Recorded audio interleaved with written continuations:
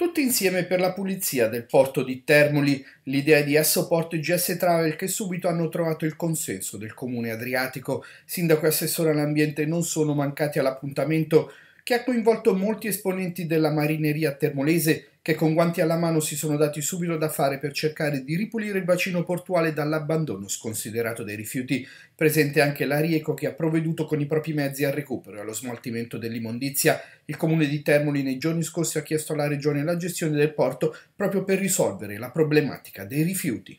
Siamo tutti un po' gli operatori, dalla marineria, eh, pescatori, eh, operatori, eh, un po' tutti del porto. Eh, abbiamo iniziato a fare le prime immersioni con il sub, con Francesco Cannarza, eh, che abbiamo preso prime, i primi rifiuti, gomme, vetro, plastica, un po' tutto quello che c'è.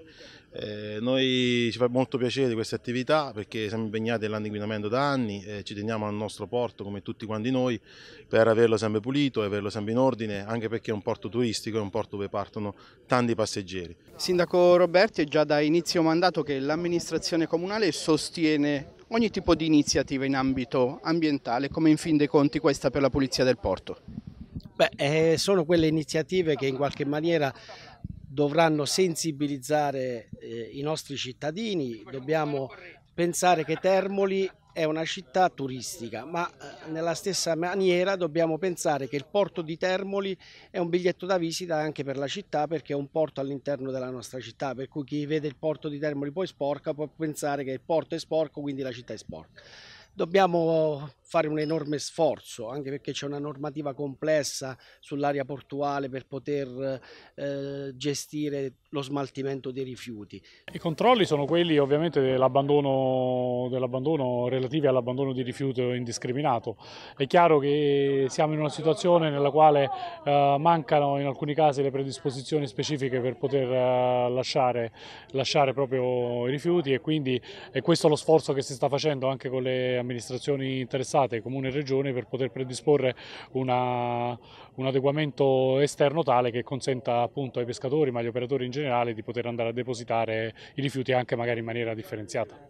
Si discute sempre sugli spazi che devono, dovrebbero essere destinati alla marineria, che cosa chiede la categoria?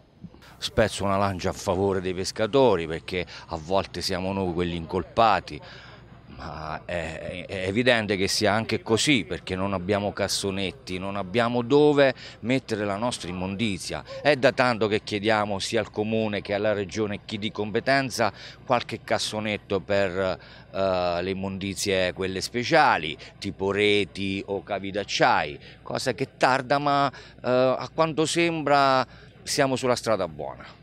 Che tipo di rifiuti state trovando? Di tutto, bottiglie di vetro, plastica, cime, lattine di sigarette che è uno schifo, le sigarette è una cosa vergognosa qua.